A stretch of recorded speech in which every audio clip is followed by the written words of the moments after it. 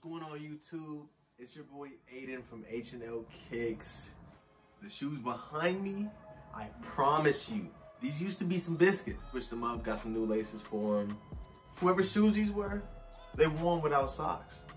I'm not gonna disclose the owner of these sneakers for privacy purposes. To be honest with you, I don't know why you'd wear shoes until this point. Golly. I'm gonna show you guys some behind the scenes on how I turned some biscuits into the shoes behind me. And if you guys stay to the end, I will have some close-ups for you. I hope you guys like the video.